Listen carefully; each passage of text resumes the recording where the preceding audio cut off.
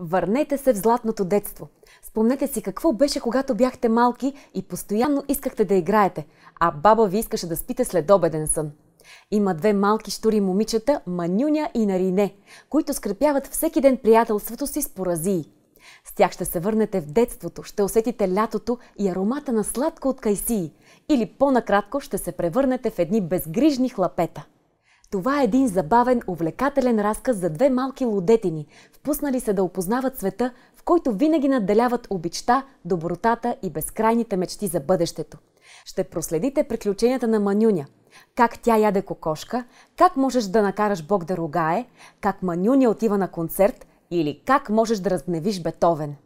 Манюня е книга за детството, защото там остават да живеят онези скъпи лица на баба, на дядо, на приятелите, на игрите и на най-истинските неща. Сетивата са изчистени и реагират ярко и всеотдайно, без да се пестят и да се страхуват. И за финал ще споделя с вас няколко реда, които са много вдъхновяващи и истински могат да ви разчувстват. Държа в дланта си ключа от дома, където се пази сърцето. Като малка обичах да наблюдавам през него света толкова огромен, да ми се струваше, че съществува само във въображението ми. Стоя на прага в дома на моя прадядо и ми се струва, че ако отключа, както и преди, в края на масата с обяда ще лежат последните кайсии и във всяка от тях кехлибареното сърце на лятото.